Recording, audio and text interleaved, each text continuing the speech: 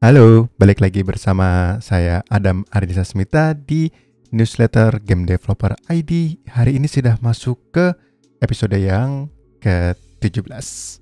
Oke, seperti biasa setiap minggunya aku bakal ngebacain ada informasi apa aja sih yang terjadi di industri game selama seminggu kemarin. Dan mungkin kalau buat teman-teman yang belum tahu, gamedeveloper.id adalah website yang menjadi one stop solution buat teman-teman yang mau mencari resources terkait industri game di Indonesia. Nih, buat teman-teman yang belum tahu, ini ada websitenya. Nah, jadi di sini teman-teman bisa mendapatkan informasi game developer yang ada di Indonesia ada apa aja, komunitas yang ada di Indonesia, sama teman-teman juga bisa dapat informasi terkait dengan uh, ada podcast, ada uh, lowongan pekerjaan, dan ini ada newsletter. Nah, jadi berita berita-berita yang aku sampaikan di sini ini semuanya terangkum dalam newsletter gamedeveloper.id. Kayak gini contohnya. Yang ini akan keluar setiap minggu, akan keluar sekali. Kalau misalkan teman-teman pengen dapat infonya lebih duluan, biasanya keluar hari Senin, teman-teman bisa subscribe di sini ya, masukin email addressnya.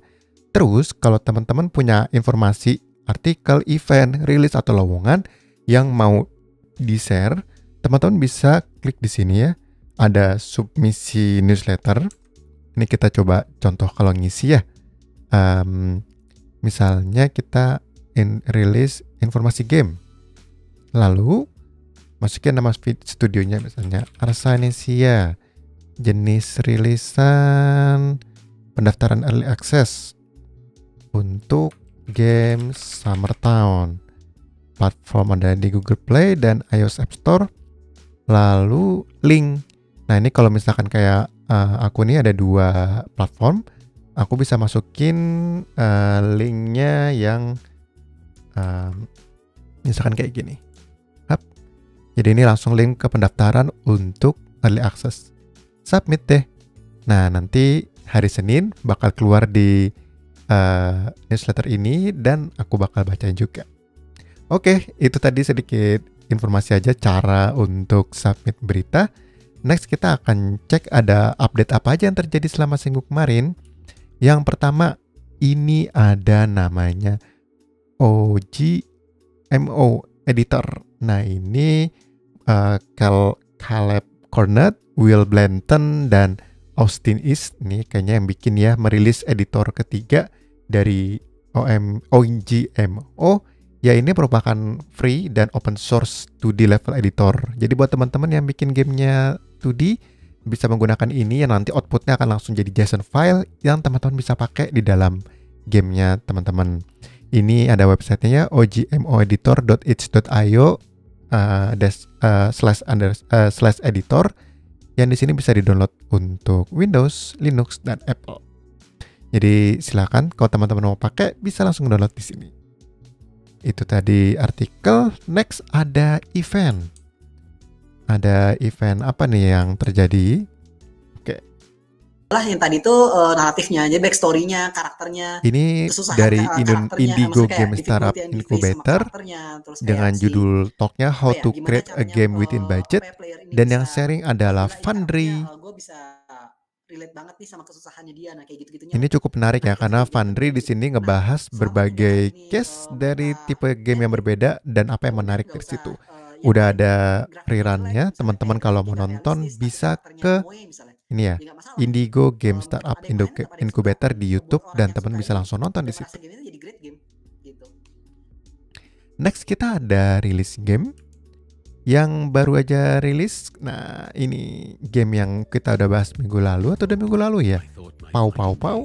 Ini sudah rilis di Steam, sudah mendapatkan 26 positive review dan ini masih sedikit banget ya guys. Jadi teman-teman tolong uh, download gamenya dan berikan review sebanyak-banyaknya supaya uh, game ini lebih kelihatan. Karena ini salah satu masterpiece ya, karya seni yang itu cukup bagus dan di rilis ini dia kasih diskon 10% dari harga 70.000 jadi 62.963.000 lah. Oke. Ini juga udah ada update ya, bakal regular update, update 1.1. Alright, jadi silahkan teman-teman cobain ya gamenya. Next ada informasi lagi. Ini uh, rilis game uh, dari NSI. Ini ada link ke Steamnya kayaknya. Kita lihat ya. Uh, ada buat Steam, ada juga buat uh, buat PC dan Android. Oke, kita cek. Ini gamenya.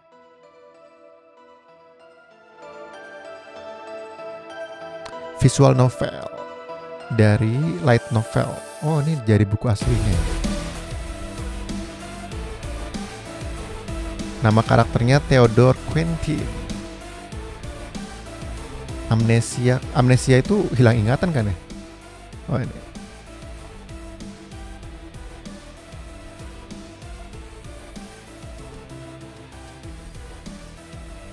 Vicky Ini judul gamenya All Black Phase 1 Jadi nanti akan ada berapa phase? Ini baru phase satunya. Yang sekarang Oh ini masih demo ya. All Black Phase 1 demo. Release date-nya 20 Hmm harusnya sudah rilis ya. Tapi ternyata belum. Kalau belum berarti tugas teman-teman adalah Klik di wishlist ya. Bikin wishlist sebanyak-banyaknya Supaya game ini muncul di Steam Oke, seperti biasa ya, genre visual novel seperti ini ada cerita-cerita. Jadi buat kamu yang suka genre visual novel, bisa cobain game ini. Ada buat PC dan lihat nih, ada juga buat uh buat yang ini malah udah rilis yang buat Androidnya. Udah ada 74 review dan mostly positif 4,3 poin. Good, good, good. Jadi teman-teman silahkan di-download juga versi Androidnya ya. Next. Wah, ini game dari Gambir Studio sekarang sudah full release. Ini videonya masih sama kayak kemarin atau udah beda ya? Oke, masih sama nih. Oh iya. Jadi ini gamer dari Gambir Studio punya game judulnya Selera Nusantara Asian Restaurant Cooking Games dan ini tipe gamenya time management ya. Jadi teman-teman ada order datang, teman-teman layani, nanti teman-teman dapat skor dan nanti ada levelnya untuk maju ke level berikutnya. Oke, ini silahkan di download.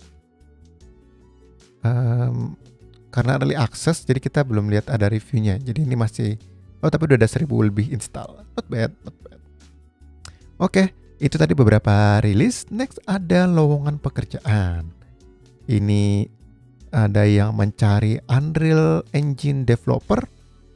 Ini lowongan dari Stairway Game Studio. Ini kalau nggak salah gamenya juga udah sering kita bahas ya Coral Island yang seperti ini Harvest Moon seperti Stardew Value jadi teman-teman yang tertarik dan bisa Unreal silahkan bergabung. Ini ya gamenya. Next ada lowongan pekerjaan lagi dari Lentera Nusantara studio game asal Bandung. Ini lagi mencari graphic designer dicari pria. Ini ini banget ya spesifik nyarinya pria 27 tahun umur maksimumnya dari DKV dan bakal dicari adalah yang bisa Photoshop, InDesign, Illustrator, dan software jenis. Ini karena 3D modeling menjadi nilai tambah, sepertinya ada ini juga untuk bisa ke game 3D. Jadi silakan yang tertarik ya teman-teman ini ada lowongan pekerjaan dari Lentera Nusantara.